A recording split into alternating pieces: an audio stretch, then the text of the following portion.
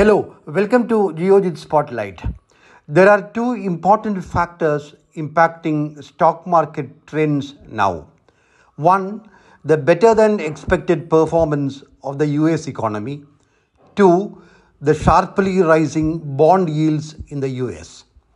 The first factor is positive, the second is negative for emerging markets. Let me explain. The US economy is resilient and growing strong despite the around 500 basis point hike in US interest rates.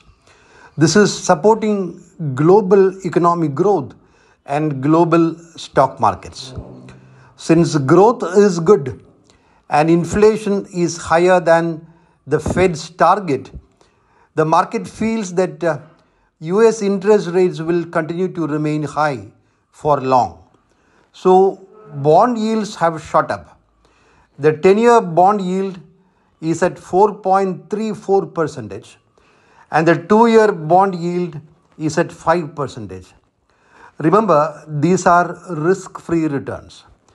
When the safest asset class in the world, the US treasuries, are yielding 5 percentage return Foreign portfolio investors will prefer that.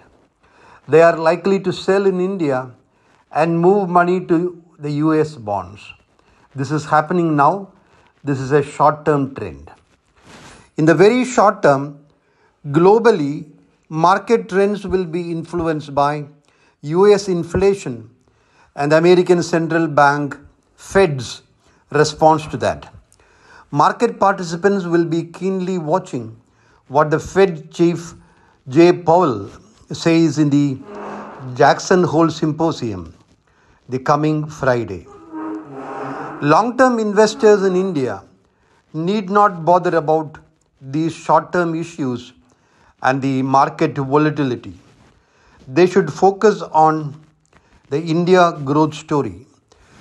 India's growth story is the best growth story among large economies in the world investors should invest in the India growth story. Present market valuations are high, but not excessive. There are pockets of markets which are fairly valued.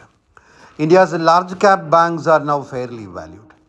They are investable now. India's capex cycle has begun.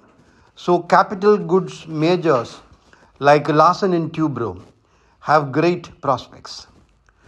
Pockets of mid and small caps are overpriced now. This is a risky segment. Investment in this segment may be done through mutual funds, ideally via SIPs, systematic investment plans.